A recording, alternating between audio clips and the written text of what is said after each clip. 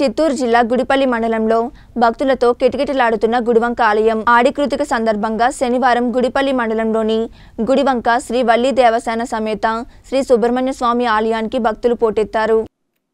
కోరిన కోరికలు తీర్చే స్వామివారిగా పేరొందిన సుబ్రహ్మణ్య స్వామికి భక్తులు కావడలతో తమ మొక్కుబడులను చెల్లించుకుంటారు. సరిహద్దు ప్రాంతం కావడంతో తమిళనాడు కర్ణాటక రాష్ట్రాల నుండి వేల సంఖ్యలో భక్తులు కావడీలను భక్తి శ్రద్ధలతో మోసుకొచ్చి స్వామివారికి చెల్లించి మొక్కు తీర్చుకుంటారు.